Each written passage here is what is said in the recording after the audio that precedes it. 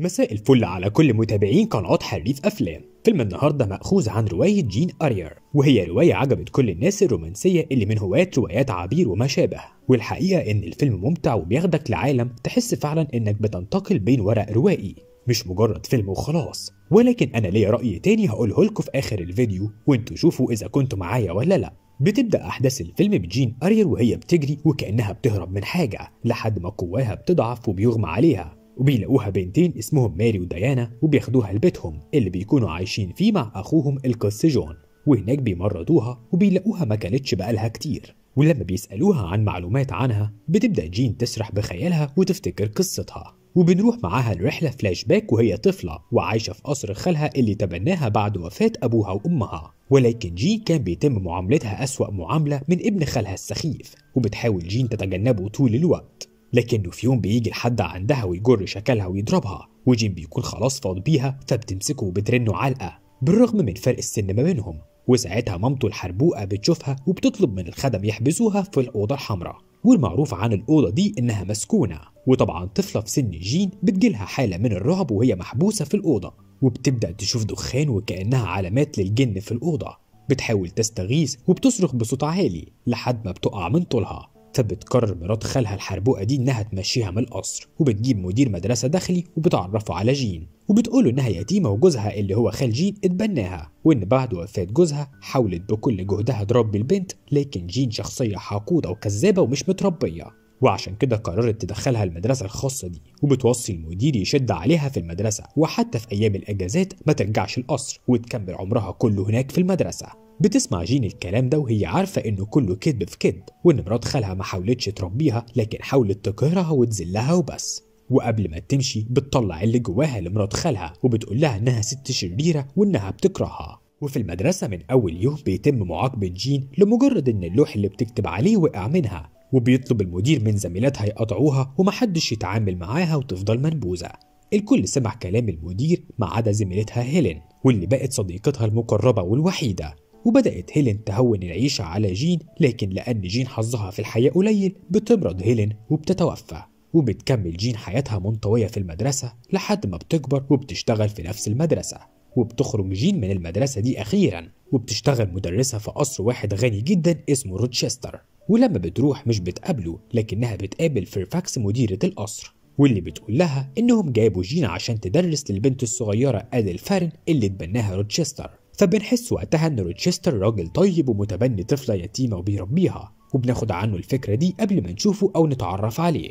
بيتم معاملة جين في القصر أحسن معاملة والحقيقة إنها بتكون علاقة حلوة مع أدل في وقت قصير وبتحبها أدل جدا واتعلقت بيها. وفي يوم بيحصل حوار بين مديرة القصر وجين بتقول لها في جين إنها عاشت عمرها كله محبوسة بين أربع حيطان سواء في قصر خالها أو مدرستها أو حتى هنا. عمرها ما خرجت وانطلقت ولا عرفت أي راجل في حياتها فبتشجعها مديرة القصر وبتطلب منها تخرج تتمشى وترفه عن نفسها شوية وفعلا بتعمل كده وساعتها بتقابل راجل على الخيل بتاعه ولأنه ما كانش متوقع وجودها في الطريق بيتكعبل بخيله وبيقع. وزي أي مشهد كليشيه بنعرف إنه هو ده مستر روتشستر وده أول لقاء بينهم. بتعرف ده جين لما بترجع القصر وبتلاقيه وزي أي كليشيه برضه بيكون التعارف بينهم فيه استفزاز. ومن هنا بنعرف إنه أكيد هيحصل قصة حب ما بينهم. بيبدأ روتشستر يسألها عن حياتها بس بأسلوب مستفز ولأنها شافت الأسوأ منه في حياتها كانت هادية ومتمالكة أعصابها. وعاشت جين في القصر مبسوطة وحرة كانت بتعمل اللي عايزاه ومفيش أي نوع من أنواع التحكم زي اللي عاشته طول حياتها. حتى مع وجود روتشستر في القصر. كانت بتلاحظ إن روتشستر كئيب ومنطوي وبيبدأوا يحكوا مع بعض. وبيقول لها إنه ملوش في الأطفال ولا الناس المسنين. طب ليه عم الحاج اتبنيت أديل؟ ما نعرفش بس هو بيكسب ثواب.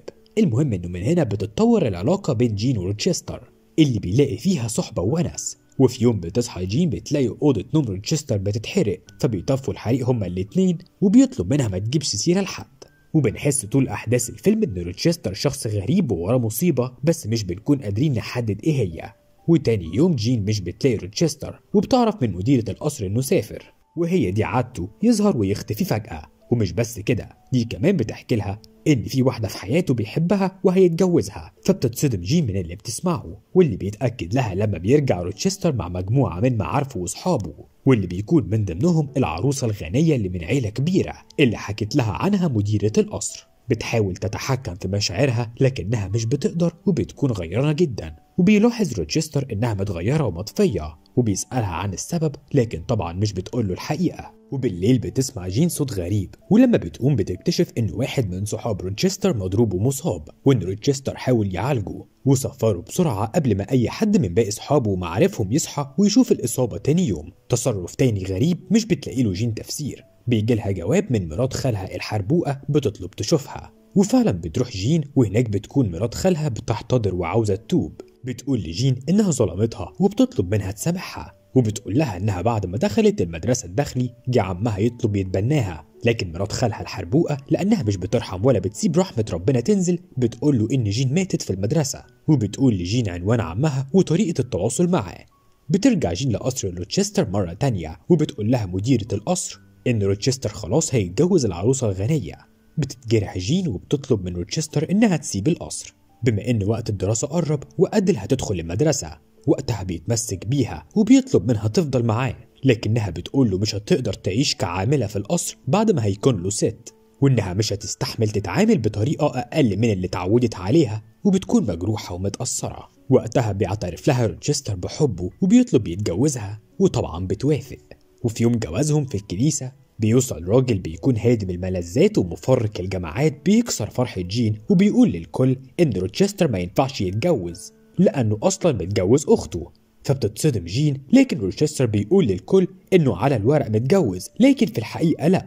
وبيوري جين مراته المحبوسة في القصر اللي بتكون مريضة نفسيا وأهله جوزوها له علشان فلوسها وعيلتها. وبنكتشف إنها السبب في كل الحاجات الغريبة اللي كانت بتحصل في القصر زي حريقة أوضته أو ضرب صاحبه.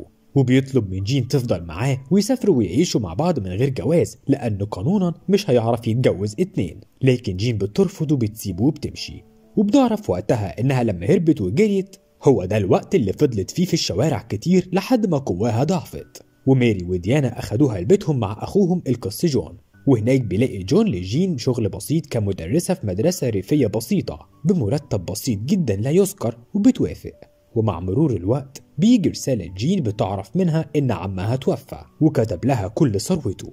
وفي يوم وليلة بتكون غنية. ومن الرسالة دي بيكتشف جون إن جين تطلع قريبته وبنت عمه لأن عمها اللي مات هو عمه كمان.